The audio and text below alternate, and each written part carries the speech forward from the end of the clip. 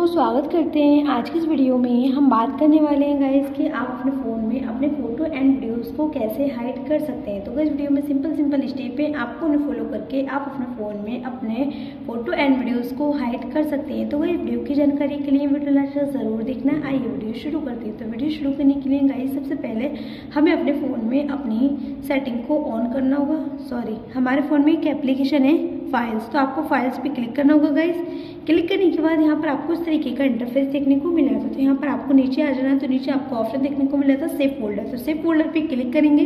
Click करने के बाद अपना पासवर्ड यहाँ से सेट करेंगे और इसे नेक्स्ट कर देंगे। नेक्स्ट करने के बाद यहाँ पर आपको बेकर आना भी करने के बाद यहाँ पर आपको कई सारे ऑप्शन देखने को मिल जाते हैं तो गाइज़ हम अपने फ़ोन में अपने फ़ोटो एंड वीडियोज़ को हाइड करना चाहते हैं तो यहाँ पर आपको वीडियोज़ का ऑप्शन देखने को मिल जाता है और यहाँ पर आपको स्क्रीन शॉट है। यहाँ पर आपको कई सारे ऑप्शन देखने को मिल जाते हैं तो आपको जो भी अपने फ़ोन में अपने फ़ोटो एंड वीडियोज़ को हाइड करना है तो यहाँ पर आपको इमेज के फोल्डर पे भी क्लिक करेंगे। यहाँ पर आपको जो भी फ़ोटो एंड वीडियोज़ है तो आप इस तरीके से उन पर क्लिक करेंगे।